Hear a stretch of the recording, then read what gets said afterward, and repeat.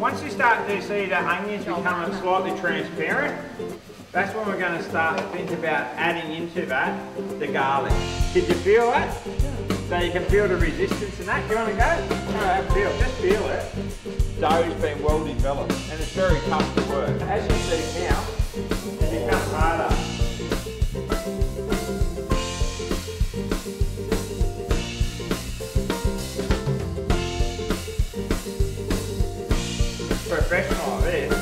就看那个。